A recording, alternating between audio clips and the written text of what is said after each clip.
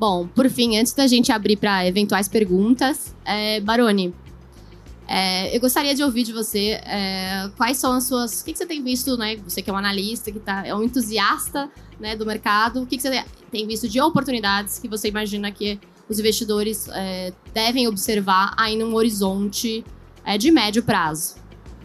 Pergunta difícil, né? Na verdade, assim, eu entendo que tem oportunidades em todos os setores, em todos os segmentos. A questão é que agora o maior desafio é você conseguir filtrar essa oportunidade dentro de uma equação de risco-retorno que faça sentido. Então, por exemplo, você pode ter um ativo de escritório, que pode ser uma oportunidade, mas ao mesmo tempo você olhando, você vai enxergar que tem algumas barreiras que têm que ser preenchidas. Tem que reduzir uma vacância, tem que resolver algum problema de estrutura de, estrutura de capital, tudo bem. No caso, por exemplo, de shopping centers, você tem oportunidades, mas por outro lado, você tem que entender que vários desses principais fundos de shopping centers estavam carregando alguns resultados não recorrentes e que agora estão diminuindo. Então você vai ter que também fazer essa ponderação. Você tem ativos de renda urbana, que na minha visão é o principal vetor de crescimento.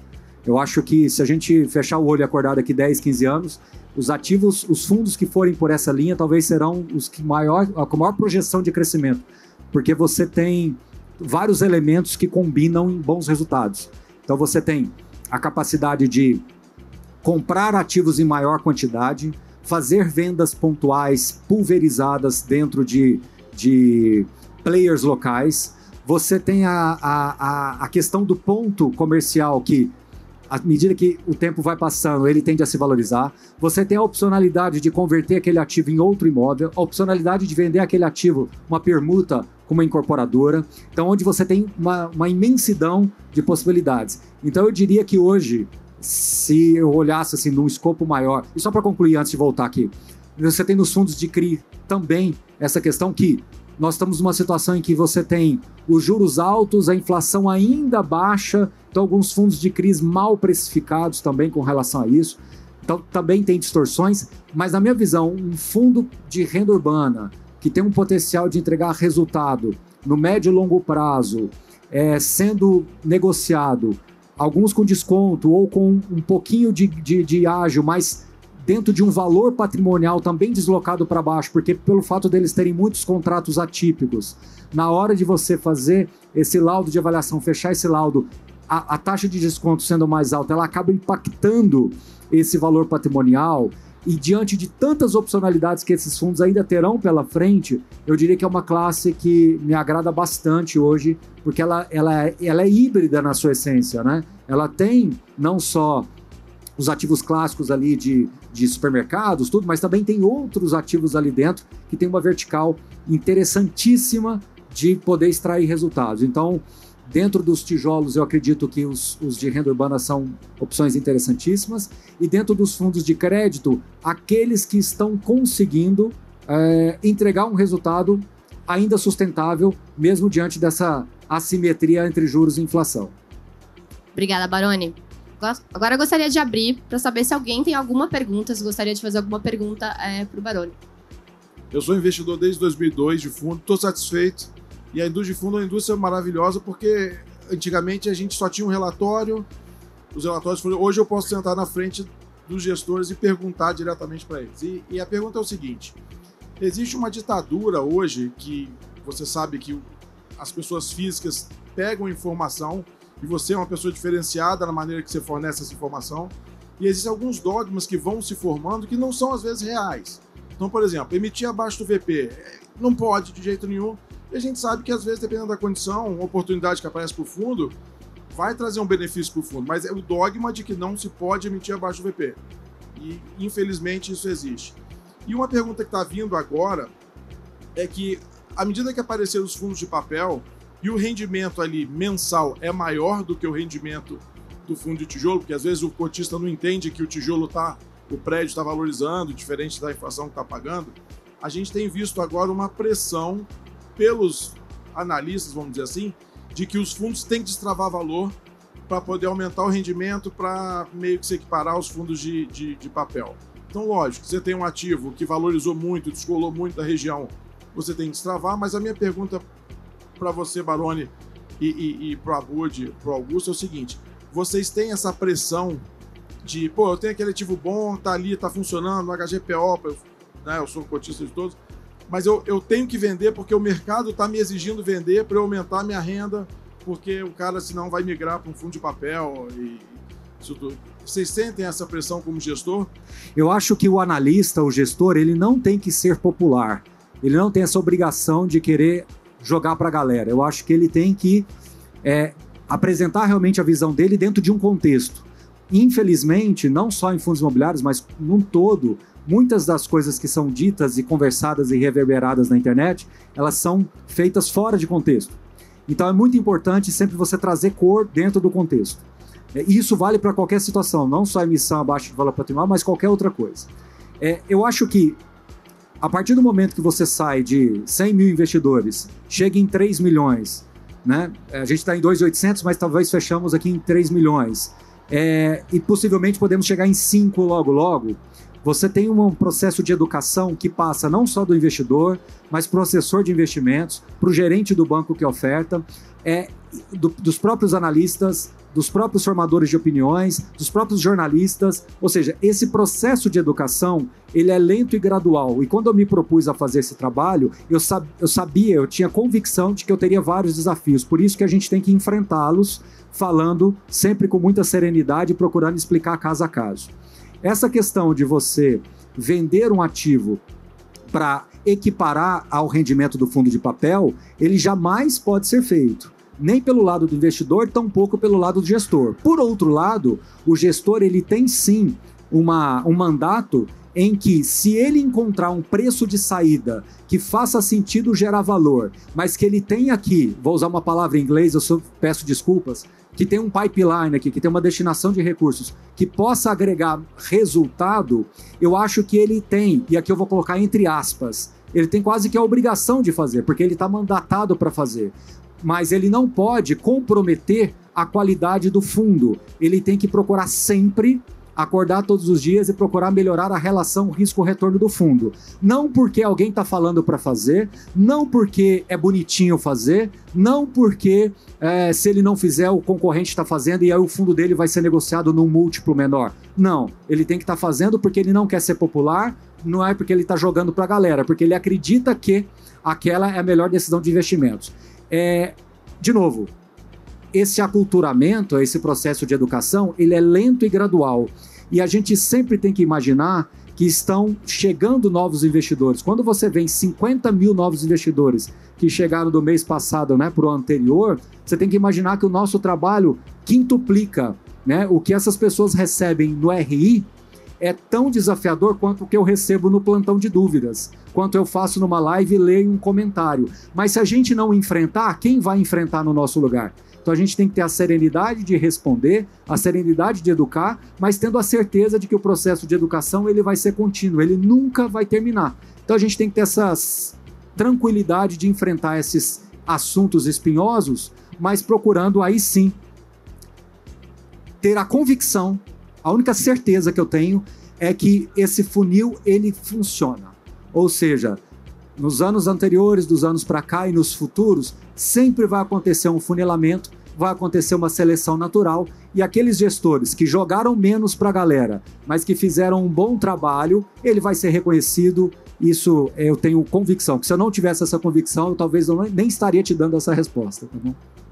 Eu vou te dar complementar aqui um pouco rapidinho com a visão então do gestor. Né? Quando a gente quando a gente toma as nossas decisões aqui, a última coisa que a gente pode fazer né, é, é, é jogar para a galera ou se deixar influenciar. Tá? Vamos pegar um exemplo aqui. Se eu for pegar o exemplo do PVBI, hoje um fundo que tem 3 bi de patrimônio quase, né? E tal. Eu acho que desde a concepção dele em 2020 não teve uma transação que a gente fez que tenha sido falar, poxa, parabéns. Sempre vai ter alguém criticando, pô, pagou caro para não sei o que, tem uh, o risco do inquilino grande e tal. Não existe unanimidade, né? Então, a gente tem que estar tá muito uh, confiante naquela decisão que você tomou. Por isso que quando a gente faz algum tipo de transação também, a gente faz questão de publicar o racional de aquisição, para que a gente possa ser cobrado lá na frente se deu errado, se deu certo, mas está lá. Você pode discordar, você pode falar, poxa, eu não concordo, mas está lá. Nós vamos ter essa possibilidade do diálogo. por que, que você comprou tal ativo. Tá aqui, olha. Eu comprei por causa disso, disso, disso. Ah, mas o cap que você comprou é de 5,5 e o mercado tá 8. Tá, mas eu comprei no cap de 5,5 que tá errado o aluguel, não o preço. Tá, o aluguel vai aumentar. E aí você tem que dar tempo ao tempo. Então a cabeça do gestor tem que ser, olha, você tem que estar tá muito confiante naquela decisão que você está tomando. Você tem que ir ao mercado explicar por que você está fazendo isso, né? Pode cobrar pela decisão, pode cobrar pelo racional, pode cobrar pela estratégia. Mas se a gente for tomar essa decisão e falar, poxa, não, pera lá, eu preciso jogar para o mercado, a, aí a gente não faz nada. A, constru, a construção é lenta, mas o, a, o barulho às vezes é maior na hora de desconstruir, mas tem que ter essa paciência. Por isso que tem que pegar também gestores com longo, longa experiência, né? longo, longo data o giro, ele acaba sendo também muito natural nesse sentido. Tá? Você, então, quando você compra, você tem que ter em mente ali o porquê que você está comprando, o, o valor tá bom, o aluguel tá bom, o que, que eu imagino chegar. Né? Vou dar um exemplo aqui, uh, uh, por exemplo, do giro que a gente fez no próprio PVBI em 2021. A gente foi lá e comprou o JK, né? Poxa, excelente transação. Tomou uma vaia do mercado. Pô, você comprou um cap de, sei lá, 5,5 né? E, e, e sim, compramos um cap de 5,5 porque o aluguel está errado. Esse aluguel vai valorizar. Esse ativo a gente está comprando, sei lá, patamar de 30 mil reais. Na nossa avaliação, isso aqui em 5 anos tem que valer 45 mil reais. Tá? E assim vai. Aí, 12 meses depois, a gente recebe uma oferta que não era dos 45, mas era de 41. Né? Você vai falar, pô, espera lá, em 12 meses eu estou gerando aqui uma. Né? Então, uh, uh, você vai lá, toma a decisão de vender. Aí você é criticado de novo. Mesmo? Lá atrás criticaram que você pagou caro. Agora pô, você está vendendo barato 12 meses depois. Né? Então, assim, ah, e aí você tem que ir de novo ao mercado e explicar por que você vendeu. Poxa, pessoal, quando eu comprei, eu estava eu tava avaliando isso aqui, um potencial de valorização que ia chegar a tanto e tanto tempo. Em 12 meses eu capturei esse valor, como o Baroni falou, pipeline, gira. Né? Esse aqui eu já capturei o valor, vamos para o próximo, vamos para a próxima captura. Então, tanto na compra quanto na venda, você tem que estar muito decidido, muito confiante. Poxa, essa é a melhor decisão para o cotista. Eu vou sentar aqui na cadeira do cotista, vou explicar para ele. Ele pode concordar ou não, mas ele vai ver que tem um racional por trás e eu estou confiante que aquele, naquele momento era a melhor decisão a ser tomada. É uma Bom, coisa gente. é fato, o não recorrente vai ficando cada vez mais recorrente. E isso é uma forma do gestor. Por isso que a gente está falando de escala, de consolidação. Porque os bons negócios sempre terão bons negócios. E sempre vai ter uma, uma forma de você desinvestir de algum negócio que você já consumiu aquele resultado. E esse, esse giro, na minha opinião, é a quarta geração dos fundos imobiliários que realmente vai fazer com que a gente consiga entrar definitivamente nesse jogo todo, que é uma gestão ativa real mesmo, né? Então, eu estou bem confiante com isso, de verdade. É, eu gostaria de saber da visão de vocês, até pelo histórico que vocês têm. É, nos últimos três anos, pelo menos, a gente tem visto algumas resoluções, regulamentações que, ao passo que cria uma camada de proteção para os investidores qualificados, para os investidores pessoas físicas, acaba que restringe o outro lado, o lado do emitente, como por exemplo as últimas resoluções CMN 518, por exemplo, que restringe a emissão de um CRI por é, reembolso. Agora é só destinação futura. Então, você acaba tirando uma parcela ali, fazendo com que ele é, tente acessar outros recursos e não, por exemplo, o mercado de capitais. E eu queria entender, à medida que o mercado se expande, é, tende a ter uma preocupação maior em proteger os investidores pessoas físicas ou tende a facilitar é, o acesso do mercado de capitais? Então, como que fica esse contraponto, esse balanço é, entre restringir e proteger também ao mesmo tempo a pessoa física? Bom, eu vou pegar aqui. É, ótima pergunta. É, primeiro, eu acho que a regulação, em todos os aspectos, tem ido no caminho certo. É, Banco Central, CVM, e podemos falar até agora de reforma tributária, onde foi visto a importância do veículo fundo imobiliário para essa poupança de quase 3 milhões de pessoas. E por que, que eu avalio que ela está indo no caminho correto? É, no teu exemplo do CMN, ela pode ter pego aqui um espectro de CRIs que é realmente uma pena, né? Que vai ficar mais difícil fazer.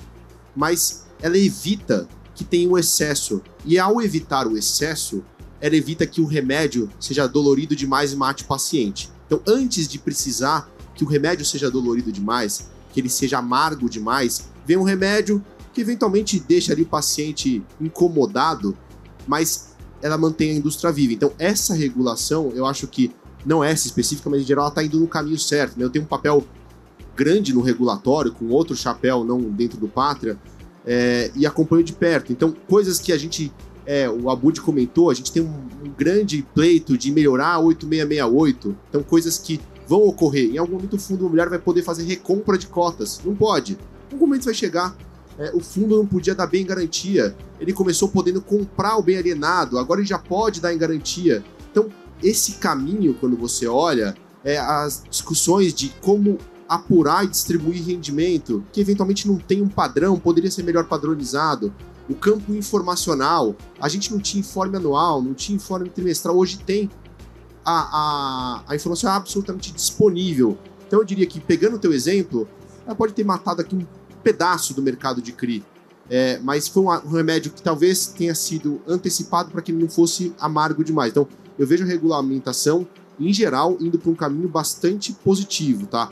E por isso que a indústria vem avançando, por isso que tem aí 50 mil pessoas que decidiram investir em fundo imobiliário é, só no mês passado. Por isso que a gente saiu aí, o HGLG, de 10 mil investidores em 2017 para mais de 500 mil investidores agora. Então, eu acho um caminho bastante saudável e, e acho que a gente continua trilhando como indústria para ir melhorando. E eventualmente teve uma dose amarga demais, vamos sentar com o governo, vamos sentar com a CVM, é, vamos ver de que forma que isso poderia ser melhor endereçado e aí para conseguir manter a indústria saudável.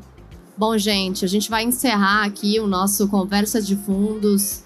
Eu convido todos vocês a acessarem as nossas redes sociais é, e acessarem nossos vídeos. Tem diversos episódios é, super bacanas sobre os mercados que o Pátria atua.